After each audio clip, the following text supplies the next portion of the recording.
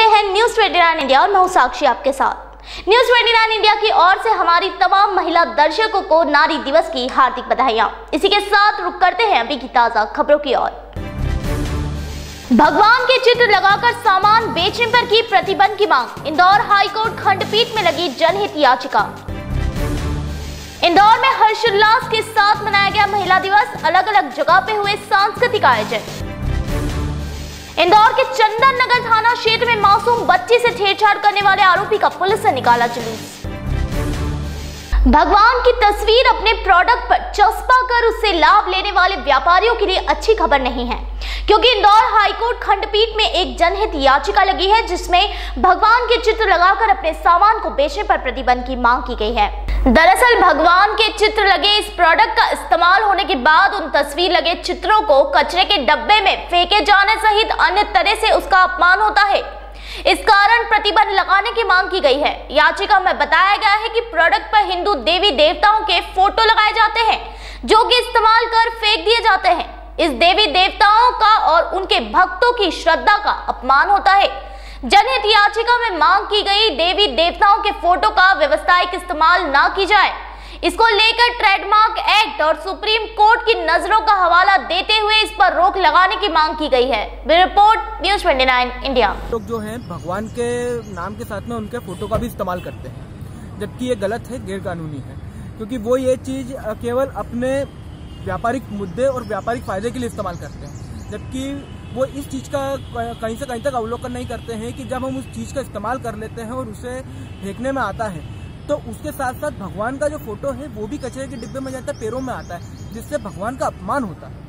हम जिस भगवान को पूजने करते हैं कुछ लोग उसे व्यापार का तरीका इस्तेमाल कर रहे हैं। महिला दिवस का दिन पूरे देश में हर्षोल्लास के साथ मनाया जा रहा है। इंदौर में भी महिलाओं द्वारा अलग अलग जगह पर सांस्कृतिक कार्यक्रम आयोजन किए गए, जहाँ महिला सशक्तिकरण को लेकर महिलाओं ने अपनी राय एक दूसरे के साथ साझा की। विश्व अपनी उन्नति पद पर है, वहीं भारत देश में भी महिलाओं को लेकर लोगों की सोच में लगातार बदलाव आ रहा है। अब महिला सशक्तिकरण की ओर बढ़ रही है और देश में पुरुषों के साथ कंधे से कंधा मिलाकर चल रही है। इस मौके पर जन विकास सोसाइटी के तत्वाधान में महिलाओं को सम्मान किया गया। इस दौरान महिलाओं ने सांस्कृतिक कार्यक्रम में नृत्य की प्रस्तुतियाँ भी दी। Report, news twenty India. Indore के चंदन नगर थाना क्षेत्र में एक नाबालिग बच्ची के साथ छेड़छाड़ करने का मामला सामने आया है। बच्ची की माँ ने थाने में शिकायत दर्ज करवाई थी। महिला व्यास नगर में रहती है और उनकी बच्ची घर के बाहर खेल रही थी। इसी दौरान पड़ोस में रहने वाला बबलू, पिता छगन गुजराती, उनकी बेटी को सेव परमल खिलाने के बहाने अपने घर में ले गया और उसके साथ अश्लील हरकतें करने लगा। इसी दौरान बच्ची के शोर शराबे की आवाज़ सुनकर माँ घर की तरफ़ दौड़ी तो देखा कि युवक उसके साथ छेड़छाड़ कर रहा था। भीड़ को जमा देख आरोपी बच्ची को छोड़कर वहाँ से भाग निकला। पुलिस ने तत्परता दिखाते हुए चंद ही घंटों में आरोपी को गिरफ़्तार कर लिया। पुलिस ने जब आरोपी से सख्ती से पूछताछ की तो उसने अपना गुना कबूल किया। Report, news twenty India. Bablu Chhagan Gujarati नाम है इसका। इसके द्वारा इसकी जो बच्ची थी सात, आठ साल की जो बच्ची थी, उसको सेव परमल खिलाने के बहाने इसको घर पे बुलाया गया और बुरी नीयत से बच्ची के कपड़े उतार के उसके साथ गलत हरकत करने की इसने कोशिश की थी। आ, महिला की रिपोर्ट पर से तत्काल पुलिस के द्वारा इसमें तीन सौ चौवन जो छेड़छाड़ का जो मामला है और बालिका चूँकि आठ साल की उम्र की थी तो पॉस्को एक्ट के तहत इसमें तत्काल मुकदमा पंजीबद्ध किया गया और पंजीबद्ध मुकदमा तत्काल करने के बाद तत्काल टीम को मौके पर भेज के आरोपी को इसमें पकड़ाया गया है। इंदौर अंतर्राष्ट्रीय महिला दिवस के मौके पर डीआरपी लाइन में परिचर्चा का आयोजन किया गया। इस मौके पर बड़ी संख्या में महिला पुलिसकर्मी व पुलिसकर्मी परिवार की महिलाएँ शामिल हुई। आज अंतर्राष्ट्रीय महिला दिवस है। इस मौके पर डीआरपी लाइन में महिलाओं के प्रति संवेदनशीलता परिचर्चा का आयोजन किया गया। मुख्य अतिथि के रूप में इंदौर एसएसपी रुचिवर्धन मिश्र उपस्थित रही। वहीं बड़ी संख्या में पुलिस परिवार की महिलाएँ भी शामिल हुई। इस दौरान महिला पुलिस कर्मियों को एसएसपी मिश्र ने फूल देकर सम्मानित भी किया। इस मौके पर एसएसपी ने बताया कि महिलाएँ और बच्चियों से अपील की गई है कि अपने साथ हो रहे किसी भी प्रकार की छेड़खानी को बर्दाश्त न करें। खुलकर पुलिस के पास पहुँचे, पुलिस आरोपियों पर तुरंत कार्रवाई करेगी।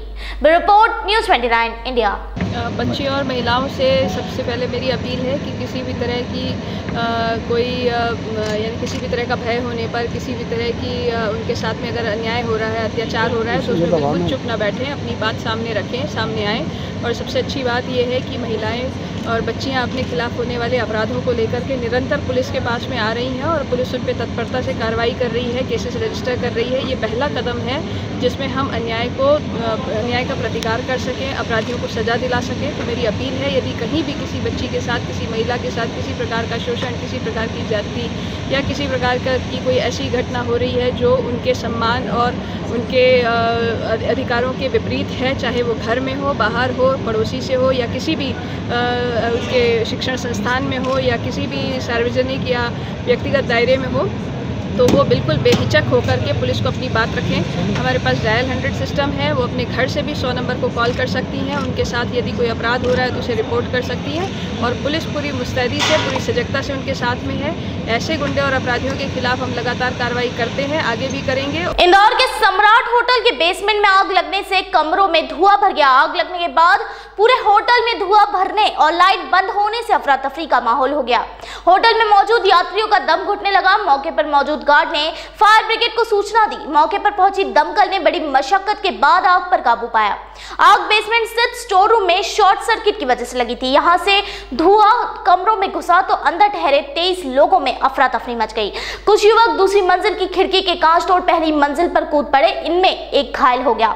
सात को फायर ब्रिगेड ने सीढ़ियाँ लगाकर उतारा। बाकी 26 लोगों को अंदर से लाया गया, हालाँकि आगजनी में कोई जनहानि नहीं हुई है। Report, news 29 India.